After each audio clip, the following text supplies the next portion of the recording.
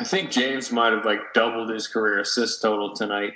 Um, did you want to get the ball kind of in his hands a bit more to make decisions, or did that just was it just flow no, it's, it's, it's just a product of James, um, you know, working every day on his dribble handoffs, um, on our split cuts, like starting to to understand our offense, and uh, so he made uh, he made a couple good plays out of the post, and and uh, he's starting to to feel more comfortable with what we're trying to do. Steve, to follow up on James, how do you teach a young player, especially one that hasn't had the game experience that he uh, has had, not to foul? Because it seemed like he was doing a much better job with that uh, throughout tonight.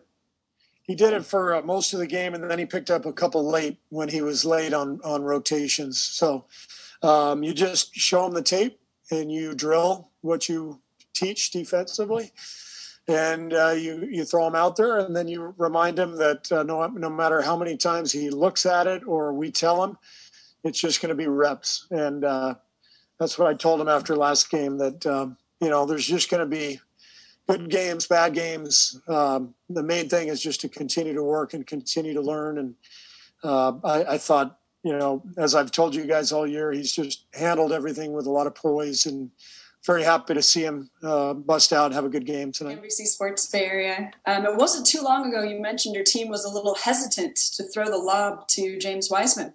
Why did that change? Well, I just think we uh, we found a little rhythm offensively, um, put a lot of pressure on uh, San Antonio's defense, and James uh, is is feeling uh, where to be and the, and the timing of of the of the lobs. I thought Draymond got him a couple times. Uh, Steph hit him on one. Um, it was uh, we just had a, a, good flow to our offense, and, and James is learning. He's he uh, he knows where to be. Was this his best game? Uh, probably. I mean, he's had he's had some good games for us. Um, I think it was our best game. Uh, you know, more importantly, it was uh, it was the the best two way basketball game we've played all year. Our defense was excellent. Uh, you know, we put a lot of pressure on them. Stayed really solid, made good rotations, um, rebounded well, and then at the other end, you know, when you're when you're forcing misses, offense becomes a lot easier. And so we were able to to get into a flow. You know, that late late first half run came off a a bunch of stops, and then you know get Steph and Draymond in that pick and roll, and uh, it was a it's a really good stretch for us.